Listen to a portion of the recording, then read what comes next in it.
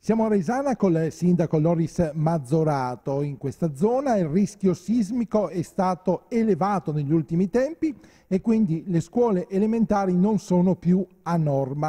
A questo punto eh, lei ha visto che non c'erano le risorse per poter metterle a norma perché sono bloccate dal patto di stabilità e ha scritto al governo o mi sbloccate questi soldi o altrimenti io le scuole le chiudo. Che risposte sono arrivate?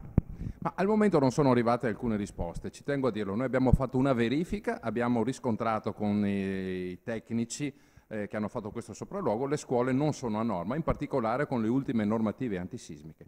Tant'è che no, è di pochissimo tempo fa, ci sono state due scosse che dal, da nord sono arrivate sempre più vicine verso di noi, per cui il pericolo terremoto esiste. Le scuole non sono a norma, ho una scuola che ospita centinaia di bambini, per cui se dovesse succedere io non sono in grado di assumermi questa responsabilità. Non perché io voglia fare lo scaricabarile, attenzione, io i soldi li ho, li ho già pronti da poter spendere, solamente che a causa del famoso vincolo del patto di stabilità non mi lasciano mettere a norma le scuole. Allora, visto che io devo assumermi responsabilità per colpa di qualcuno che sta facendo delle leggi demenziali e vanno contro la sicurezza dei miei bambini, dei nostri ragazzi, dei nostri figli, a questo punto che il governo si assuma le responsabilità di quello che non sta facendo. Io chiudo le scuole, poi se entro settembre non ci arriva una risposta, mi dispiace, i ragazzi restano a casa questo punto che cosa potrebbe succedere? Un intervento del prefetto?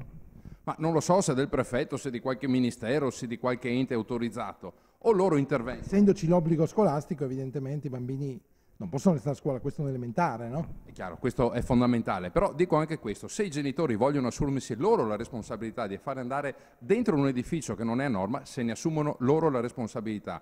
Io non mi assumo questa responsabilità perché se succede, lo ripeto, la responsabilità penale è mia, non sono in certo in grado di accollarmi questo onere, questo fardello, dopo che ho i soldi già accantonati e che qualche mente intelligente ha deciso che non li posso spendere. Anzi, mi è arrivata una proposta in questi giorni di fare un mutuo, quindi devo pagare anche gli interessi su soldi che io ho. Questo è fuori discussione, non si attua così.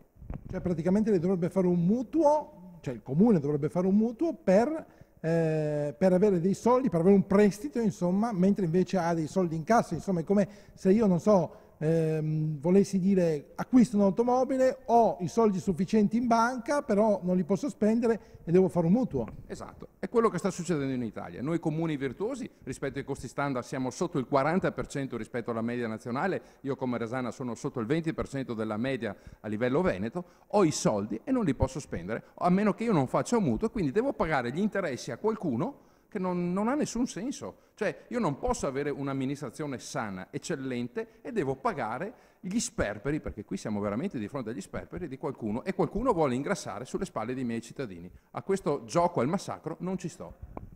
Questo qualcun altro è il governo centrale? È solo il governo centrale, visto che è a capo di questo Stato, che sta facendo andare male le cose, che anziché creare occupazione sta creando disoccupazione, anziché mettere in sicurezza gli edifici scolastici, lasciano la responsabilità a noi sindaci, poi se succede qualcosa dobbiamo rispondere penalmente noi e non lo trovo corretto, etico e morale. Lei spera che altri sindaci seguano la sua stessa strada? Ne ha parlato magari con qualcuno di quelli più vicini? Eh, io ho parlato oggi con qualcuno dentro i ministeri, mi hanno detto di non dirlo, ma sono, c'è una rivolta di sindaci su questo e il governo è molto molto preoccupato. Quindi il suo caso non è del tutto isolato, c'è già qualcun altro che si sta muovendo in questa direzione? Esatto, solamente che io ho avuto la forza di comunicarlo ai giornali, alle televisioni, a voi che mi state intervistando, la cosa sta facendo breccia, speriamo che in Italia chi fa rumore riesca a portare a casa qualche cosa, ma per il bene e la sicurezza dei nostri ragazzi.